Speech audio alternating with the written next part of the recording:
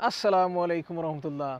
So I'm reporting live from the middle of Storm Malik and our garden's taken quite a bit of a battering and I'm going to give you a show of what's happened and some of the damage that's been done.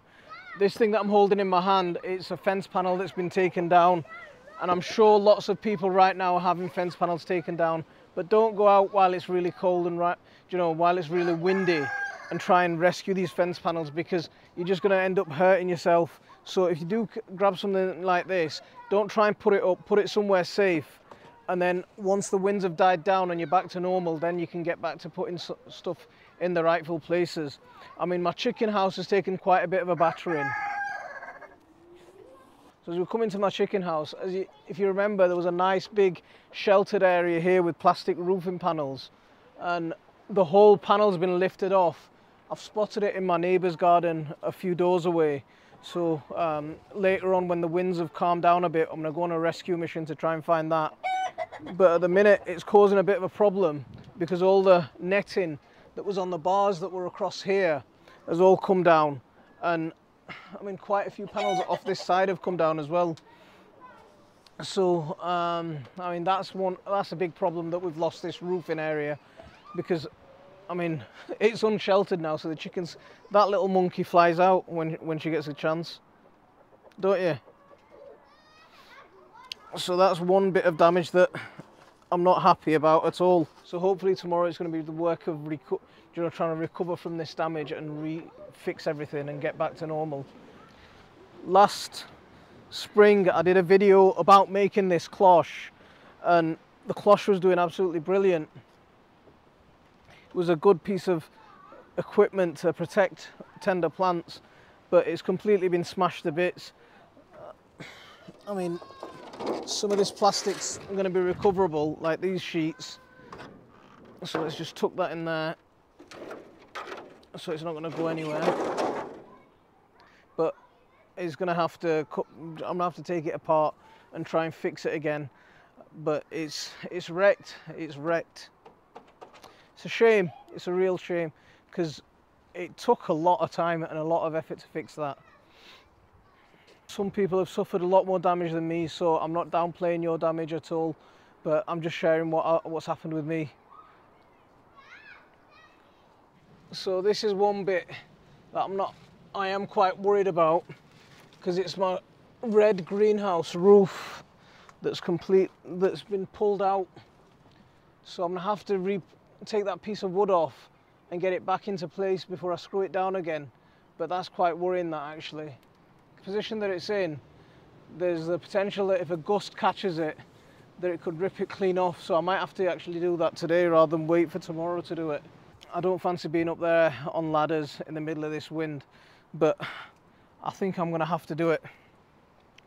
Oh man, look at that.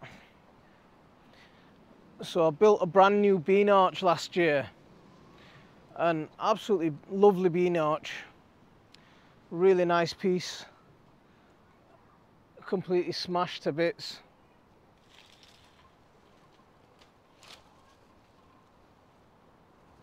Oh and there's my kale that Nathan had given me as well that's been knocked and battered over. It's ripped off all this cardboard. Quite a few of my garlics have been damaged. The tops can be seen damaged off so it's pulled off all this cardboard as well. But this, I'm just going to pull it out and put it down so it doesn't cause any more damage. But it's in a good few pieces. So that's, it's just work that you have to end up doing that you don't want to, you know, that you think that you've done and got, got over and done with. But yeah, I mean, it's, it's disappointing. It is disappointing some of those arches look a little bit wary, so I'm gonna have to sturdy them up and get them um, get them protected again. But it's dis it really is disappointing.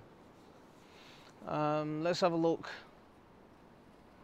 I mean, the wind's been so strong this year that it's even ripped off the wires on some of the some of the uh, wires that grown into the house. It's pulled some of those down, and I've never noticed it that bad the thing I don't know how how bad this storm is compared to other storms that we've had in the past, but I've never noticed it myself to be this bad because it's caused quite a lot of damage. all in all, I mean, there's a little bit of work that we need to do, but we- we've not been we've not been hit terribly. But there's potential. The, the winds are still raging, so there's potential.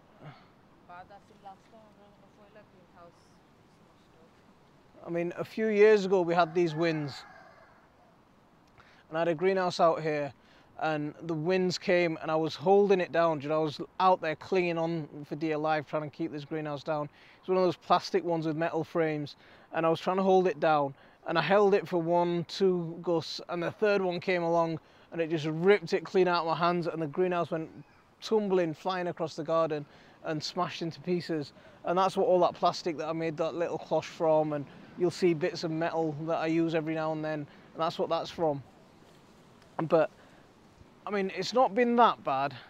These arches are absolutely pathetic anyway, but um, there's a bit of damage. Two of them have stayed up, one's completely wrecked.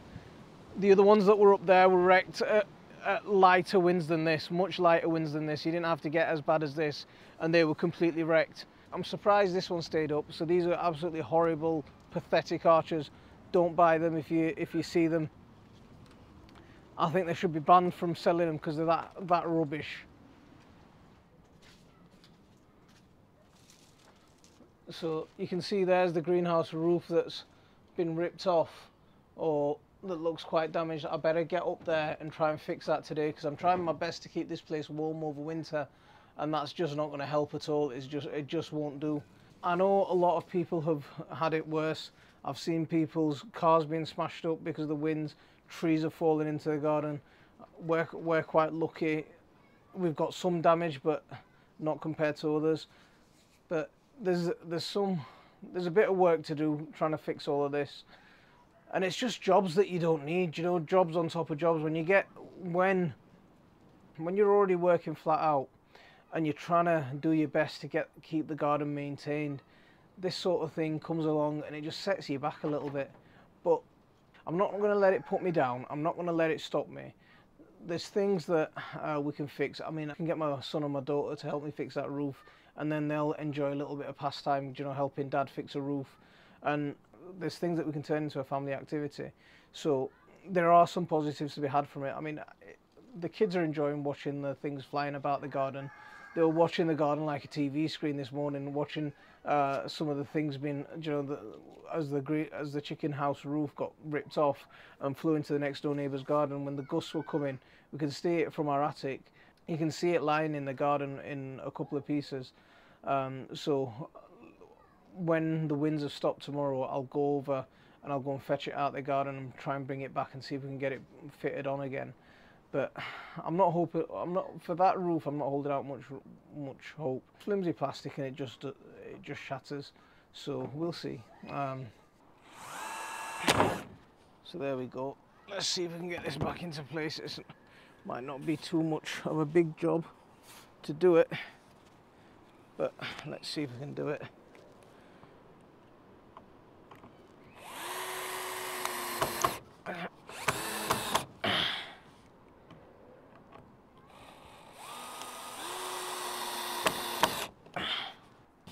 Could do with a good clean up here as well, but that's for another day. The last thing I wanted was a gust of wind to catch that and just take the whole roof off with it but let's get down. I don't like being up here eh, when it's windy. It's all just a mess at the minute because this bed I mulched it and the mulch has been ripped off. I mulched it with cardboard and I'd put down some soil over the top of it and you can see the cardboard's just a, a complete mess. It's flown up the garden. I'm gonna move this slide from here because it, the slide's been ripped off. Let me put it somewhere safe otherwise it's going to end up God knows where. So let's put it somewhere safe and keep it protected.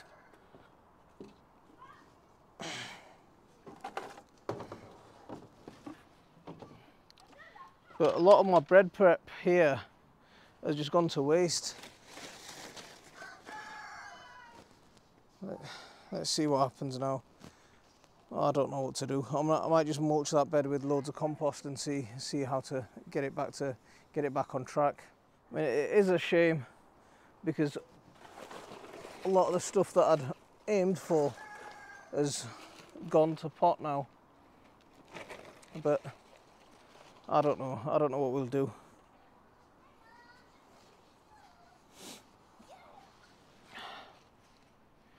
Yeah, we'll do something to get it fixed. Okay. I mean, let's not get too disheartened with these sorts of things because they happen, they cause us uh, a bit of inconvenience when they do happen and they cause a bit of a heartache, especially if we lose plants and stuff that we're really precious about. But there's worse things that could have happened. We're safe. Um, that's the main thing. We can keep, yeah, the things in here we can fix.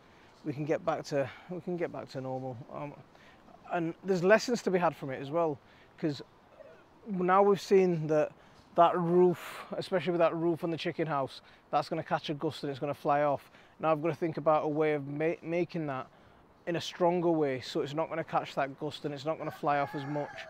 Uh, it's not going to fly off as easily. So that's a lesson for me to learn and a lesson for me to take. Um, when I finish, when I built this greenhouse, I meant to put down some fastening battens on those plastic sheets a couple of years ago when I first did it. And because of everything else that just got in the way, I just never got around to doing it. That's another thing for me to do is get some battens fastened on into the middle and that'll just give me some extra security. And I should have done that when I first built it and it would have been done in one job. So that's another lesson for me to learn. Because what I always do is I start a project, get into it, and then I never quite finish those little last niggly little bits. And that's one of the things that I need to get my, you know, I need to get into the habit of actually finishing off. Uh, so that's a lesson for me as well. So for, I mean, I don't know who else is like that, but I, I am like that. I jump from one project to another. But so I need to be a bit more, uh, not not as uh, I don't know what the word is, but yeah, you know what I mean. I posted a picture on Twitter of what's happened in my garden, and the Daily Mail asked if they could use my picture. And you know what I told them. You can guess what I told them. I'll leave some pictures up and you can have a look at those. You know very well that I'm not going to powing or I'm not going to give any sort of respect to the Daily Mail, not that kind of dirty paper. But tomorrow's a new day. Hopefully the wind's going to die down by tomorrow and I'm going to get out here in full force and we'll get on with some serious work and we'll get it all fixed. We'll get this, we'll get a lot of this work fixed and we'll start doing some work on what we're planning on doing for the rest of February. So keep an eye out for the February what to what to do in February video. It should be following this. Don't forget we also make videos on Patreon. So if you would like to support our channel, I'll leave a link for it up here. There's lots of bonus content on there, lots of behind the scenes footage, and um, it's, it's a great way of supporting us. Thanks for watching. Don't forget to hit that like and subscribe if you like this sort of thing. Make sure you hit that subscribe and ring the bell and then you'll get the notifications whenever I put a video out. So I'll leave it there for this one. Assalamu alaikum wa rahmatullah.